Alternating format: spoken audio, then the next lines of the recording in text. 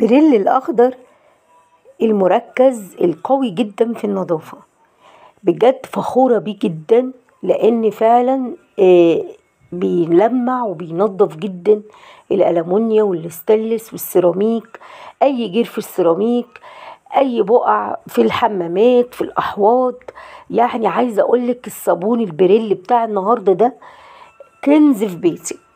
وهتشوفي من المكونات اللي هنحطها دلوقتي.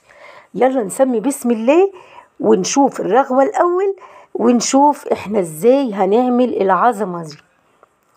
زي ما إحنا شايفين كده حطيت نقطة من البريل وحطيت شوية مية وزي ما إحنا عارفين آه يعني عايزة أقولك آه بأقل نقطة أنت ممكن تعملي البريل. رغوة عالية جدا نظافة وتوفير في الكمية وتوفير في النظافة وتوفير في كل حاجة بصراحة.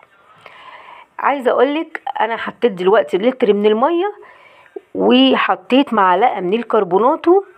الكربوناتو بينضف جدا الألمونيا والستانلس بينضف كل حاجة كل حاجة. الأحواض البوتاجاز رخامتك كل شيء. وحطيت نص كوباية من السكر. وحطيت كمان معلقة من ملح الليمون. كل ده إضافات عالية الجودة جدا جدا للبريل بتاع النهاردة.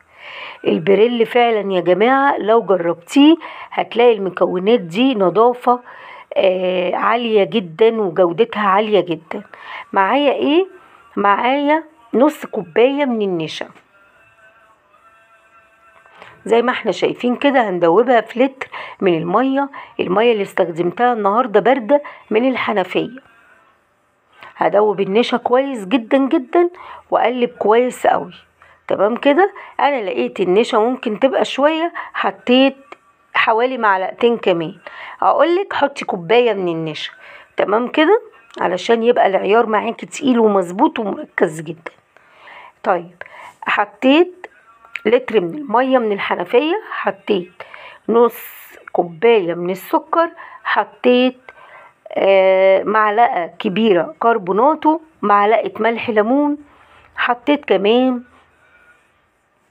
كوباية من النشا وهقلب كويس جدا جدا زي ما إحنا شايفين كده.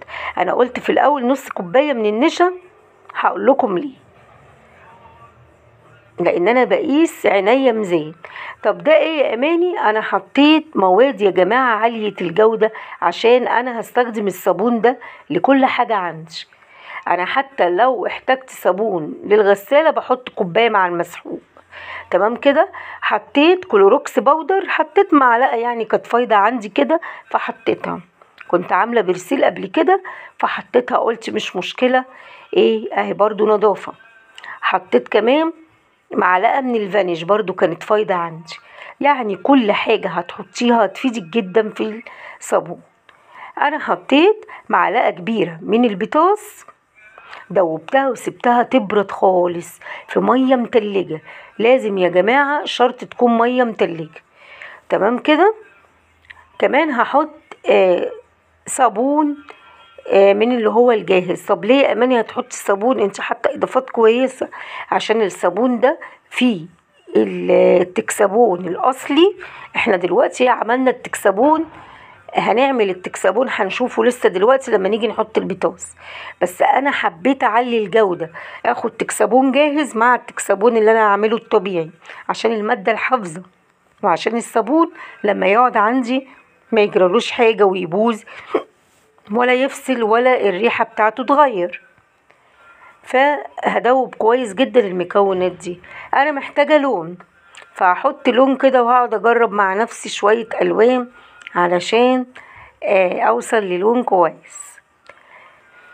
اللون ما بيفرقش معانا أي لون اتفضلي حطيه مفيش أي مشكلة خالص ممكن ما تستخدميش لون خالص. تمام كده؟ فأنا دوبت اللون مع المكونات كلها اللي أنا حطيتها. متنسينيش حبيبتي في اللايك والاشتراك وحل إجابة السؤال إن شاء الله اللي هنقوله. لو نسيت أقوله هكتبه لكم على الفيديو. بالشكل ده.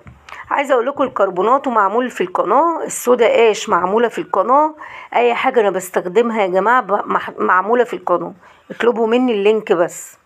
تمام كده؟ أنا قلبت كل حاجة بس بنقلهم في طبق كبير علشان الكمية يا جماعة ما شاء الله النهاردة خمسة لتر من البريل. زي ما شفنا كده الجودة والتقل واللزوجة والتركيز في أول الفيديو.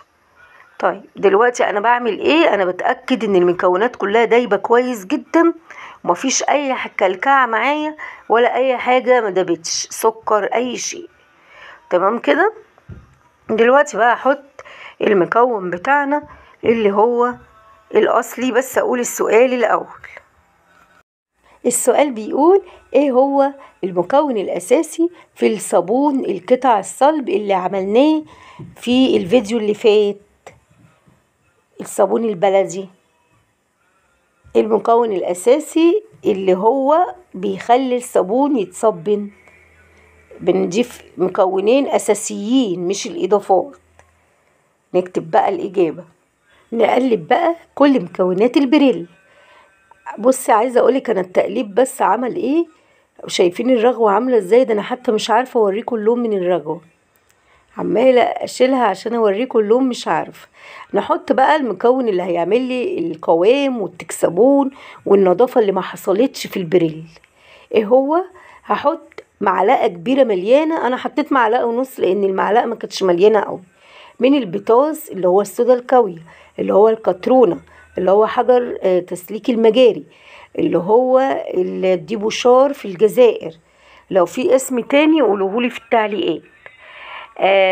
طبعا أنا بقى هحط ال- المية عليه. أما بتدوبي البطاطس ما تكتريش بقى السوائل خلاص. إحنا حطينا المية وحطينا آه، كل حاجة. هنشوف القوام وبعد كده لو عوزنا مية تاني هنحط مية. تمام كده؟ هحط بقى عشان أدوب البطاطس. أنا كده بحاول بس أشيل الرغوة عشان عايزة اوريكم لما أحط ال- البوتاس أو الهيدروكسيد الصوديوم هيكون القوام عامل إزاي. فأنا بشيل بس الرغوه علشان يظهر معايا القوام وأعرف آه، أظهره وأصوره وأوريه لكم. زي ما إحنا شايفين كده الحمد لله الرغوه اتشالت وابتدت تروق معايا أهو. أصل ده صابون وبريل عالم أماني مش أي بريل. زي ما إحنا عارفين واللي مجرب الحاجات بتاعتي عارف كويس جدا. عايزة أقول لكم يا حبايبي ما تنسوش تدعموني بالاشتراك وباللايك اعملوا متابعة للصفحة. تعليقاتكم بتسعدني جدا وبتفرحني قوي. إن شاء الله ربنا يفرحكم يا رب. كده أنا خلاص شلت الرجوة ابتديت أعرف إن المكونات دابت كويس لأني ما كنتش شايفة الصراحة. فهبتدي بقى أدوب آه، تمام؟ شايفين اهو كده كل حاجة دابت خلاص والرغوة هديت والحمد لله. ما تنسوش بقى اللايك والاشتراك وتفعيل الجرس يا حبايبي دلوقتي أنا بعمل إيه؟ بزود آه يعني نص معلقة تاني من الكربوناتو لقيتها عندي قلت حطي يا بت ما تستخسريش. هتقعد تعمل إيه؟ دي نص معلقة. فحطيتها تاني. أنا بحبه قوي قوي في المنظفات يا جماعة على فكرة. بحبه قوي قوي. طيب دلوقتي بعمل إيه؟ دلوقتي حطيت البطاطس معلش الحتة دي أنا دوبته في نص كوباية من المية. تمام كده؟ لاحظوا كده إن الصابون معايا بيتقل إزاي؟ بيبتدي يلف معايا أهو وبيتقل واداني قوام تحفة مش معقول. الحتة اللي فاتتنا إيه؟ حطيت نص كوباية مية على البطاطس وسبته يبرد. فأنا لما سبته يبرد تقريبا ما كنتش صورت الحتة بتاعة الميه فصلت من قبل كده وما اتصورتش. هي بس دوبت البطاطس شايفين اما حطيت بقى ال- البطاطس اللي هو هيدروكسيد الصوديوم؟ تقل معايا الصابون. أحلى بريل يا جماعة ممكن تعملوه. أنا مش هسكت لحد كده لأ أنا هحط كمان شوية لون أخضر. أنا عايزاه لون البريل بالظبط علشان أفرح وأحس إن أنا عملت حاجة آه، ليها قيمة وعملت حاجة زي الجاهز وأحسن.